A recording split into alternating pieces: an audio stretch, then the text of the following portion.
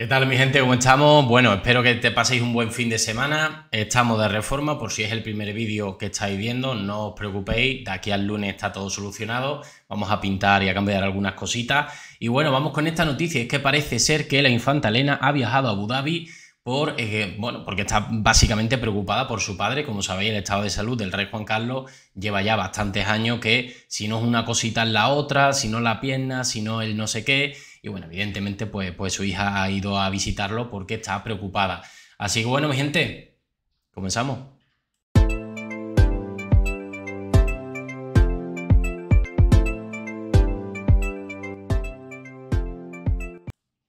Y es que según titula en Blau, eh, en este caso, la infanta Cristina viaja a Abu Dhabi por el empeoramiento de su padre. Elena también tiene previsto ir. Fijaros que al final el único que no irá seguramente pues sea el, rey Felipe, eh, que bueno, ya sabéis que aunque se ha dicho que la relación era mala, ya luego creo que fue Maika la que dijo que la relación no es tan mala, que había preguntado al entorno, que, es un poco la visión que nos da, pues porque al final se tuvo que tomar la decisión, un pacto entre ellos de, oye, vete a Abu Dhabi, está la cosa mala con respecto a la monarquía, con todos los asuntos turbios.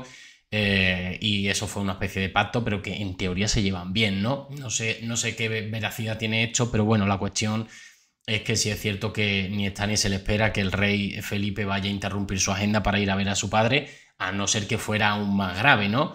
En fin, la salud del rey emérito Juan Carlos primero preocupa a sus hijos, especialmente a las infantas Elena y Cristina. Como sabéis, cada vez que viene a España, a Madrid o a San Sencho, intenta verse con sus hijas y de hecho rara vez se va de España sin haberlas visto, ¿no?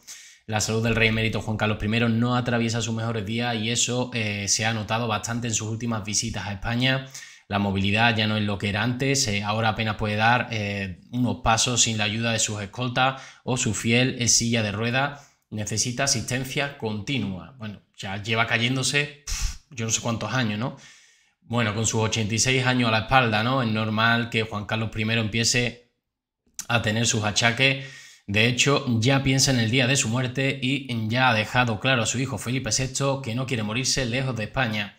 Quiere tener la posibilidad de regresar a su país natal de forma permanente en caso de necesitar atención médica constante, eso sí, eh, cuando, cuando em, esté en las últimas, evidentemente. No quiere perder ni uno de los beneficios fiscales que le otorga tener su residencia en los Emiratos Árabes. Esto es lo complicado, querer vivir aquí pero con que yo no lo entiendo. ¿Tendrá dinero suficiente en el banco, eh, aunque sea en el banco de allí de Abu Dhabi, como para traérselo en una caja fuerte o lo que sea, y vivir los años que le queden, que a lo mejor le quedan 6, 7, 10, entendemos que no le quedan 20 o 30, en 86 con sus achaques, evidentemente, ojalá, ¿no? Pero que, que, pase los años que tenga que pasar ya. Si quiere estar en España, que vuelva a España y que, y que gaste el dinero como él crea conveniente pero si se va a morir con enterrar un dinero, o sea, enterrar un dinero, que venga y, disfrute en España, ¿no?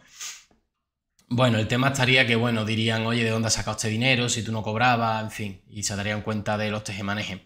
Juan Carlos I cambia de hábitos para frenar su deterioro, pero Juan Carlos no está quedando de brazos cruzados. Fijaros aquí, eh, que estampa en, eh, en silla de ruedas que intentamos no verlo, intentan que no lo veamos, mejor dicho, perdón, intenta que no lo veamos así, pero aquí está eh, Juan Carlos en silla de ruedas nada más y nada menos. El emérito eh, se está tomando muy en serio su salud, hace ejercicio a diario para mm, poder mantener un mínimo estado de forma que le permita seguir participando en regatas con el bribón. Fijaros que la última vez yo decía, pero ese hombre cómo está ahí montado, si es que, eh, no sé, si os habéis montado alguna vez en una barquita, en una canoa, en algo, que el bribón es que precisamente es para eso, hay que estar fuerte, te tienes que agarrar fuerte, se mueve mucho con los oleajes, que para eso está, y es que un día, un día va a acabar fuera, un día va a acabar fuera del agua. Bueno, como decía, hace ejercicio a diario para poder mantener el mínimo eh, bueno, de, de, fuerza suficiente para seguir participando en las regatas con el bribón.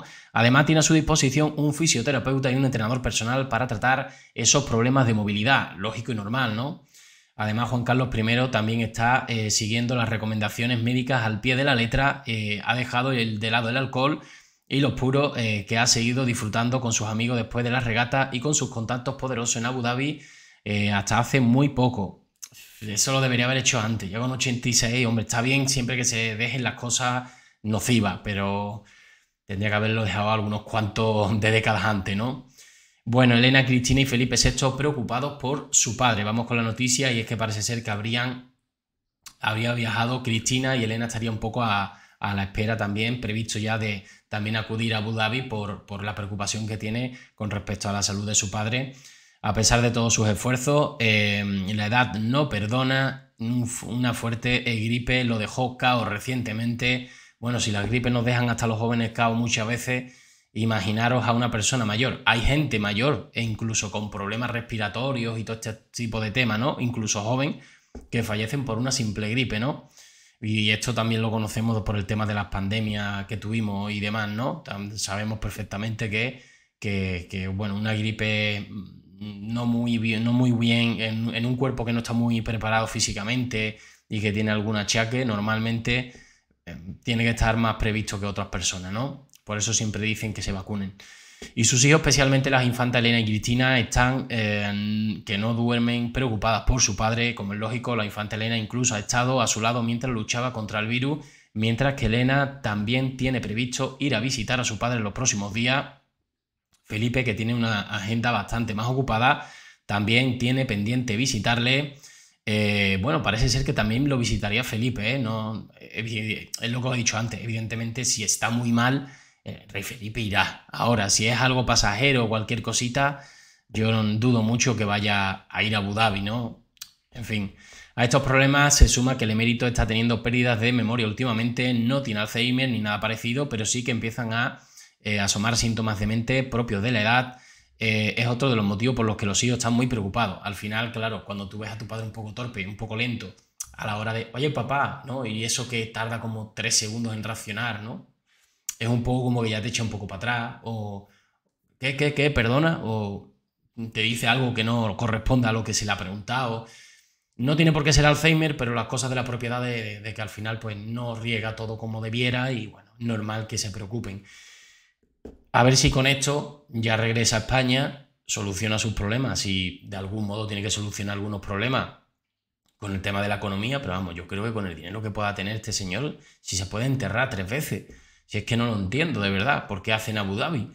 En fin, bueno, sí lo sé, pero no me voy a meter en temas políticos, ya sabéis, ni, ni, los maneje que se ha llevado siempre.